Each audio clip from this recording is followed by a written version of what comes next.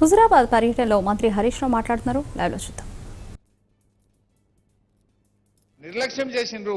పట్టించుకోలేదు అని చెప్పి మీ జడ్పీటీసీ శ్యామ్ నాకు చెప్తా ఉంటే నిజంగా నాకు చాలా బాధ అయింది. అందుకే ఈరోజు అన్ని గ్రామాలకు ఇరవైకి ఇరవై గ్రామాల్లో ఇలా మహిళా భవనాలు మీకోసం మంజూరు చేసినాం. మరి మీరు కూడా కొద్దిగా ఎంటబడి మీ గౌరవ సర్పంచులతోనో ఎంపీటీసీలతోనో మీ సంఘం అధ్యక్షురాలు రోజు మాట్లాడి కొంచెం మంచి స్థలాన్ని గుర్తించి ఈ వారం రోజుల లోపల అన్ని ఊర్లలో కూడా పనులు ప్రారంభం చేయమని చెప్పి నేను అధికారులకు ఆదేశం ఇస్తా ఉన్నా.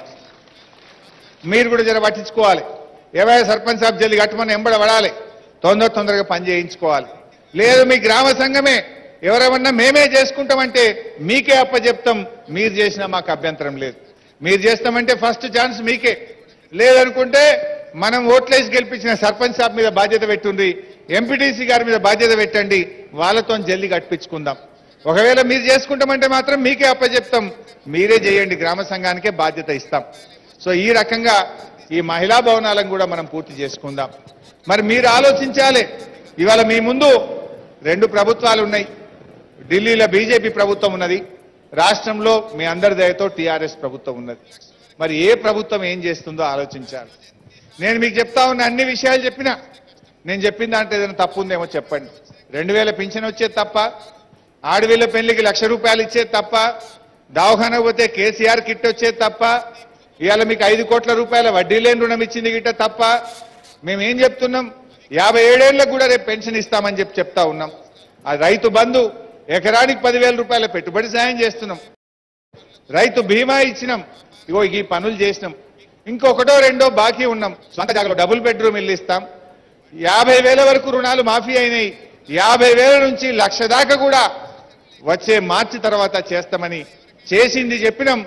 ఒకటో రెండో మిగిలిపోయినాయి. మీకు చేస్తామని మీకు ధైర్యం ఇప్పి మాట ఇచ్చి బాధ్యత తీసుకుంటా ఉన్నాం. మరి ఢిల్లీలో ఉండే బీజేపీ ప్రభుత్వం వాళ్ళేమిచ్చిండ్రు ఏమని ఇయ్యలేదు అక్క? ఏమి ఇయ్యలే? ఢిల్లీలో ఉండే బీజేపీ ప్రభుత్వం కూడా ఏమిచ్చిందో మీరు చెప్పాలి నాకు ఏమైనా ఇచ్చిందా? బీజేపీ ప్రభుత్వం ఏమిచ్చింది? ఒక మా చెల్లి అంటుంది వెయ్యి రూపాయలు గ్యాస్ ధర మాత్రం పెంచింది అన్న అంటుంది. పెంచిందా? సిలిండర్ ఎంత అయింది ఇప్పుడు? ఎంత? వెయ్యి రూపాయలకు పెంచింది సిలిండర్ ధర. ఇంతకుముందు సబ్సిడీ రెండు వందల యాభై రూపాయలు వచ్చేది. రెండు వందల యాభై వచ్చే సబ్సిడీ ఇప్పుడు ఎంత వస్తుంది చెల్లె? నలభయా? అది కూడా బంద్ అయింది? నలభై కూడా? ఎవరో అన్నారు మొన్న నలభై రూపాయలు వస్తుందన్నా అన్నారు. ఈ నిర్ణయాలు అది కూడా బంద్ అయింది. అంతే సబ్సిడీ బంద్ పెట్టిండ్రు సిలిండర్ ధర మాత్రం పెంచిండ్రు. అంటే ఇక వెయ్యి రూపాయలు చేసినాక కూడా మళ్ళీ మా చెల్లె బీజేపీకో పువ్వు గుర్తుకో మద్దతు ఇచ్చింది అనుకో ఏమవుతుంది పదిహేను వందలు అవుతుంది రెండు వేలు అవుతుంది మా చెల్లె అన్నట్టు. మరి మీరు ఆలోచించాలి. ఇవాళ పెట్రోల్ ధర నూట ఐదు రూపాయలు అయింది గ్యాస్ ధర వెయ్యి రూపాయలు అయింది డీజిల్ ధర వెయ్యి రూపాయలు అయింది డీజిల్ అంటే గుర్తొచ్చింది మొన్న బాలకృష్ణరావు గారు చెప్తుండే నాకు. పోయిన వానకాలంలో ఒక్క ఎకరా దున్నాలంటే ట్రాక్టర్ కిరాయి మూడు వేలు ఉండేనట. ఈ వానకాలం ఎంత అయించలే ఐదు వేలు అయింది.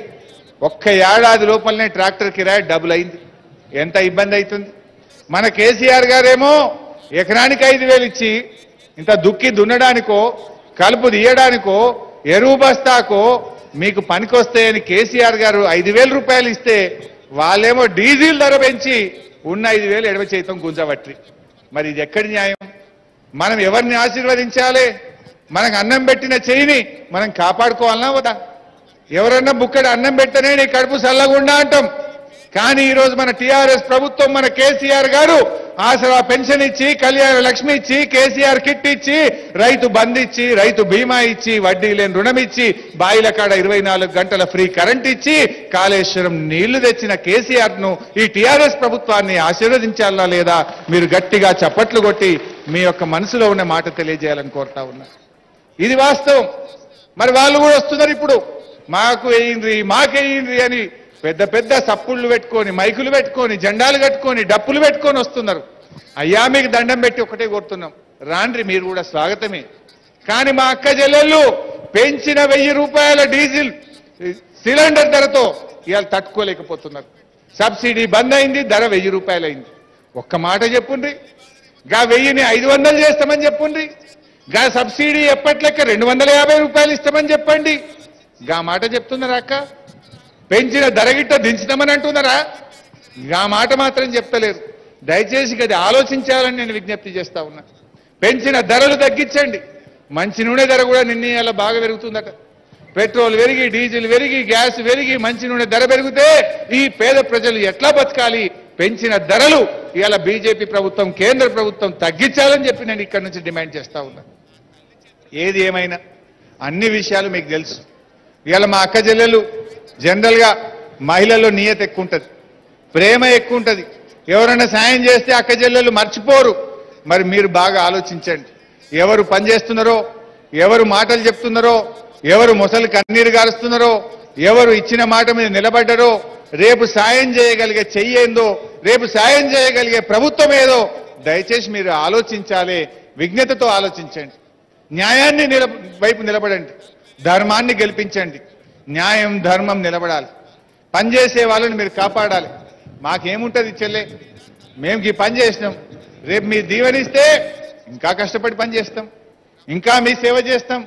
మీకు ఇచ్చిన ఇంకోటో రెండో మాటలు మిగిలిపోతే వాటిని కూడా పూర్తి చేసి మీ ప్రేమను పొందాలని కోరుకుంటాం మీ మనసును గెలవాలని కోరుకుంటాం. మీ దీవెనలు కావాలని కోరుకుంటాం తప్ప మాకు అంతకు మించింది ఏం లేదు.